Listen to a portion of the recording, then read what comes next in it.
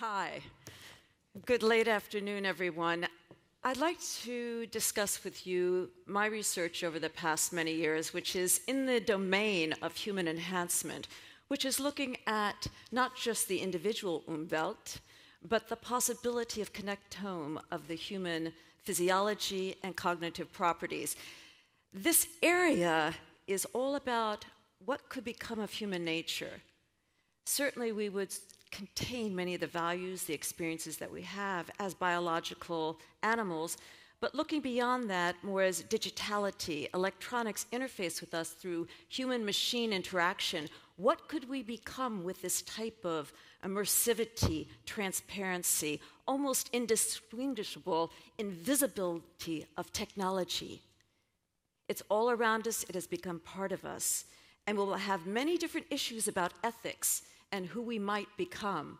But the bottom line of it all is what is the future of human enhancement? Where are we going? Who do we want to become? I look at it from two perspectives. Number one is life expansion, taking the notion of life extension, looking beyond our limitation of biology, which for the human animal is approximately 122, 123 years, to what we might become through the implementation of design. Now, one of the most interesting innate characteristics of human to me is our love of exploration and our ability to innovate. We're inventors. We love to problem solve. And that ties very neatly into design because design, as you know, is an iterative process. We're constantly reforming, remaking our concepts so that they're not only feasible, they're doable. Design is all about problem solving. The second part of my interest in this area of life expansion is as a researcher, part scientist, part designer, part artist, part theoretician, looking at how we might develop a field for people who would like to live healthy as long as they can, with as much conscious spirit and productivity as possible, the exploration of us and the innovation in our insights, and also live beyond the limitation of 122 years. And you might say, well, certainly that's a long time to live, and who would want to live longer than that? But many of us do. You take someone who's in their hundreds, who is still vital, who still has a tremendous joie de vivre. That person ought to live longer if he or she wants to. And certainly you might say, well, what is the ethics of it? What about the haves and the have nots? Only the rich can have this. Not so. We know from basic economics that the price is driven down. And certainly with the idea of Buckminster Fuller, one of my favorite designers of all time, as you know, a great architect and thinker about the world game plan, how we could solve the problems if we just look beyond the, the narrow divide of distribution, the biases that prevent distribution, and enough for everyone, everywhere. If the future of nanotechnology is as promising as it proposes to be, then molecular manufacturing will be desktop, and everyone will be able to have enough food, enough clothing, enough medical care. So that's a dream of the future that I have, and one that I think is very promising. So when we talk about radical life extension and looking at life expansion, you might say, what would we expand into? What might we become? Well, certainly today we're a biological species. We are a conglomeration of biological cells. As Lynn Margulis said, we are a conglomeration of bacteria that evolved. And what are we evolving into? Well, part of us is evolving into digitality, where data across streams, through Twitter, through interfaces, through all sorts of abilities to adapt to our environment. So let's assume how did this all come around? It came around by a gentleman called Norbert Wiener. He worked in the concept of cybernetics, and cybernetics certainly dealt with machines, it dealt with warfare, but it also dealt with space exploration. And one of our great explorations that we still drive for with innovation beyond any comparison, especially with the X Prize, is space exploration, mining the asteroids.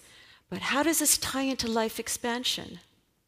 The idea of the cyborg, an old idea, it certainly lost its 21st century spin, but the cyborg was about the human and machines integrated so that the human could exist in zero gravity. Why? Because zero gravity could affect our muscular uh, system and our bone density. In zero G, we would need a different type of body to exist. So we're not in zero G, but we could become in zero G. But where are we? We're not simply in the biosphere all the time, we're in the cybersphere.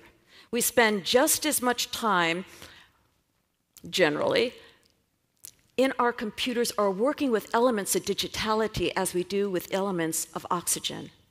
So we take a look at this. Where are we going? We're adapting to what we might become. And it is my view, which is the cyborg view, although I'm not a cyberneticist, nor do I value the term cyborg any longer, but it's a great historical root for what we are becoming. The transhuman is a notion of living fully and richly through our lives and adapting and moving and evolving through our own ability to steer our future through the innovations and explorations in our sciences, technologies, and numerous advances through a transdisciplinary perspective. So, along the way, the larger question lingers how can we engineer or design who we might become? Aren't we fragile? Won't our future be fragile no matter what type of system we're in? Yes. But at least we're dealing with that fragility. Medicine has made enormous strides in helping people who are dying of disease. You take St. Jude's Children's Hospital, where children used to be called incurable. Now there are cures to some of these cancerous diseases. Many of the diseases of neuropsychology have affected the way we are dealing with depression and all sorts of diseases that children have ADD, Asperger's syndrome that are growing. What is that all about? How could we deal with that plus our own levels of depression and anxiety as we're becoming more fractured and diversified as a species in all these different environments? So, we take a look at our own bodies and how we're engineering aspects of it. We have transplants, we have implants, we have add ons, we have enhancements. Certainly, there are over 100,000 people each year waiting for a transplant. And many of them have to die because there is no transplant, there is no solution to it.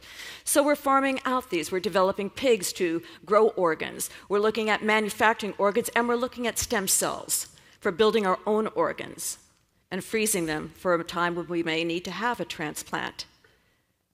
But what else is there? An example here is prosthetics. Prosthetic devices that enable those without their bodily functions to have very interesting and sometimes better devices than our biological devices the only good thing that I can ever say that comes from any type of war and hatred is that the engineering and design sensibility to build prosthetics that have given people who have suffered a very stunning leg or an arm. So, where is this all going? What are we talking about here as far as a future body, a transhuman body, to live longer outside of biology? I like to look at as a type of platform diverse system. If we look at biology as a substrate, we look at cybernetics or electronic or digitality as another substrate. What if we could cross between these substrates? What would it require for us? We already have avatar bodies in Second Life in the metaverse. We also have multiple personalities in all of our email exchanges, and we can become multiple people in different environments. But on a basis of living longer, we need to look at combining this biosphere that we love so much, that we live in, that we want to protect and prolong, and this cybersphere, this other type of environment, this digital world that we've become so familiar with as if it was our own offspring and our parents as well. So, the people who enjoy thinking about this as an exploratory adventure think about who wants this, who would want to live longer the people who simply do not want to die right now. You say, well, no one wants to die right now. Certainly, I don't want to die right now. But for those of us who have faced life death situations, we know how fragile we are again. And our base safety net for staying alive is, of course, being with loved ones, having an animal companion, having financial security, having family love and support, and being mentally sound working out, being as healthy as we can for as long as we can. And if we're going to invest the amount of money that we do today in health and our own maintenance, why would we just stop it because all of a sudden 122 or 123 comes around and that's the maximum lifespan that humans have had so far? So, my option here is to come up with an idea for a whole body prosthetic that could be an alternative design. Now, it could be bio logical, semi biological, non biological, or simply um, cybernetic, digital, whatever uh, medium or substrate that comes along next. So it would be a whole body prosthetic that would house the brain and its mind to perform outside biology or with biology, but it would be a substitute or an add on body. Now, I see this as a field that could be emerging. And the evidence is, as I said, prosthetics, the advances in prosthetics with artificial intelligence and uh, certain robotics, the advances in nanotechnology and nanomedicine, looking at uh, molecular manufacturing and moving atom by atom so that we can deal with substrates and matter at a molecular basis, and putting all these elements together that we could possibly back up the brain. You say, what, why would we back up the brain? Well, certainly we back up our computers on a daily basis, if not on a minute to minute basis. Why not back up our brains? Aren't we a little bit silly that we haven't done that yet? Well, it's not as easy as that. In fact, some of the world's leading cognitive scientists are working in that area, as well as neuroscientists, thinking about how we could back it up. And that's essential for a whole body prosthetic, because if you have a body, you have to have a brain in it. So we get into the issue of uh, the Cartesian issue of dualism and looking at if the mind is separate than the body, is that correct? Or is the mind in the brain, which is part of the body? Or can we just have a disembodied brain dealing in cyberspace like an upload? Or what do we do? Where do we meet here? Well, I'm of a different school of thought than most philosophers and theoreticians in the academic arts who talk about disembodiment that if we go into cyberspace as persons, we will become disembodied agency. I disagree. I think no matter what substrate we're in, we will still have some kind of body. We need our perceptual apparatus. We need to have adventure and exploration, not just through our cognitive abilities, but through our emotions, through feeling, through experiencing. So, when we take on a first prototype in the design process, it's usually a theoretical conceptual concept, and then we build it, and then we test it and build it again. The first time I built the future body prosthetic, Primo Posthuman, was in 1997, and it was extremely successful. Not monetarily, because it was before its time and I couldn't build it, but I conceptualized it. It was a very successful concept. Now I'm looking at it again because technology has come up to the times. Back then it was nanobioinfocogno technologies. But today, those technologies that I worked on theoretically are now making strides in their own fields, so I have to revisit this whole situation. So here's my original drawings for Primo Posthuman. And as you notice, I dealt with the mind, the body, and the brain. And today I still deal with it, but first the, brain, the body, then the brain, then personhood. Because it's the continuation of our identity, our self, who we are, that we want to preserve no matter how long we live, no matter what circumstances we go through, it's our self, our person, that to have a continuity of self would resolve in you being suspended over time, whether it's in the biological system, semi biological system, or cybernetic system. So here's my original design in 1997, uh, the transitional human. And the little uh, mock up company I developed was Ageless Thinking.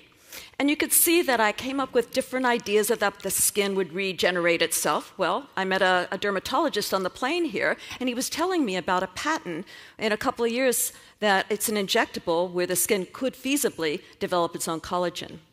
And there's many other issues there with plastic surgery, reconstructive surgery, dermatology, um, nanomedicine coming on board, genetic engineering, dealing with the telomeres in our body that shorten as our, our daughter cells regenerate over and over and then lose their ability to regenerate. This is just a beginning.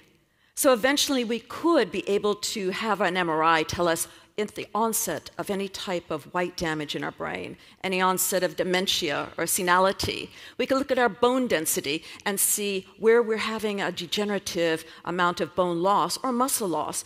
We can look at our spinal column and see where some of the um, bones in the spine are fusing. We may have to go in to intervene. These are ways we can see inside the body. And that's amazing. We take it for granted sometimes with the MRI, but we can see inside the body. Now we need to talk to the body. So if we had nanomedicine, then we'd have little computers go into the body and talk to us. So that's my brain on the MRI. That's my body with the bone density and muscle density. And um, that's my body talking about the future body design. I think at this stage ought to look biological, like we are today and enhance and augment ourselves as we choose. And there will have issues about morphological freedom, who has the right to enhance and who ought never to be coerced to enhance, because the extent of human enhancement is a personal choice. Each individual, in my view anyway, has a right to determine how long he or she wants to live or can live. Now, you might again say that's the have and the have nots, it's an economic issue, it's where you live. Yes, that's very true. But we've learned over the years that the cost goes down, that people by and large love to stay alive and protect their family and keep each other alive. So, what I want to end with today is looking at some of these robotic designs. And that arm is exquisitely beautiful. And these pieces of the body are beautiful to look at, like sculpture, like an Henry Moore or Jean Hans Arp. Any of the beautiful designs are part of the bodily designs. They have movement, they have sensitivity. So, if designers could get together and design bodies for us to live longer in a durable, less uh, vulnerable uh, existence in an envelope, then perhaps it could become a new field. And certainly with the growth in life extension as a not just a business, but a major field in of itself, then adaptive body design will most likely be located in the intersection of product design, basic design, science, and technology. And through that, there would be hope for people who do want to uh, extend their, their rights to stay alive and to live longer and healthier. And also to think about how we're dealing with the body and the mind issue. What is consciousness? How do we deal with identity as we transgress and transverse across different substrates and different media? And certainly there'll be the those that hold on to their chair and say, No, I'm not going into the future. I don't believe in living longer and stop this. The old ought to die and make way for the young so be it if that's your choice. But if it's not your choice and you're part of those of us who love life so dearly and want to give back to the world in many ways and continue spreading positive, exploratory, and innovative ideas forward, then you might consider being a part of this growing field of life extension, human enhancement, and eventually life expansion. Thank you.